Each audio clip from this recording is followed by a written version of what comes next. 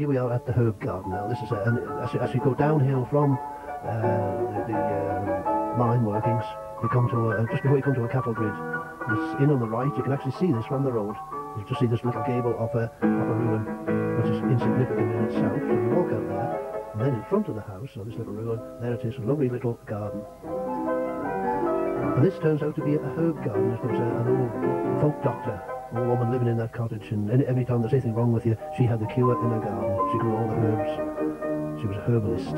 No herbs to be found in the garden now. This is the, the valley leading up to it, up to the herb doctor's garden. I wonder how many people came up there with